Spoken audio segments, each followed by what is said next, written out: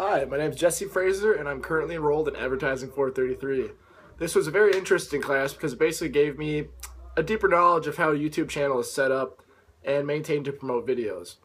It gave me the unique opportunity to create a group within class and make our own commercial without many guidelines other than you needed to know what other than time length, uh, which let us be as creative as we pretty much wanted.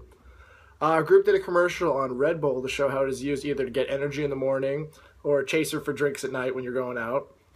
And um, this class really helped me learn further how to create and edit videos, which I didn't have much experience with in the past. Uh, we would meet once a week to figure out what our next move was to improve our video, and we would plan out how we're going to promote our next section of views of the video to get as many as we could.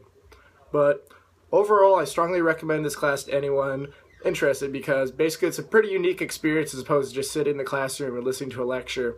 And it turned out to be a really fun group experience that I had a great time doing. It was a lot of fun filming our video and doing everything else for it and competing with the class, even though we didn't do so hot in the rankings. But yeah, take the class, it's awesome.